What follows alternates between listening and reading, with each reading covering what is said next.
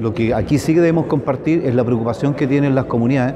Primero, esta suerte de confidencialidad en una invitación a una actividad que evidentemente tiene impacto regional.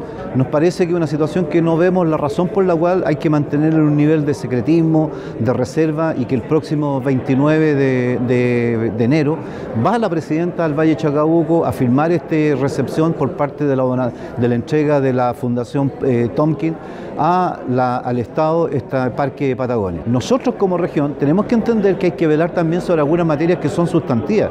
El camino Valle Chacabuco que termina en el Paso Roballo es un camino internacional. Hay que potenciar este carácter de este camino potencial porque es una gran ruta de conectividad internacional para el desarrollo del turismo.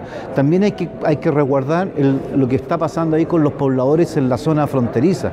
Robustiano González, lo que, está, lo que va a pasar con el predio militar que hoy día se, se dejó todo tipo de actividad económica, qué va a pasar con el predio carabinero. Estamos hablando de una zona fronteriza y yo comparto absolutamente las inquietudes de la comunidad y que hay que un tema que resguardar. Hay que hacer sin duda que sí la interconexión de las comunas de Chilechico con Cochrane a través de la laguna Geinimén y Valle Chacabuco. Es un camino que tiene que construirse y lo que uno no quiere es que en definitiva estas intenciones se transformen en obstáculos para las comunidades, para los pobladores, para el desarrollo de la conectividad, para el turismo y por cierto fundamentalmente para lo que es la preservación de lo que nosotros somos con nuestra identidad.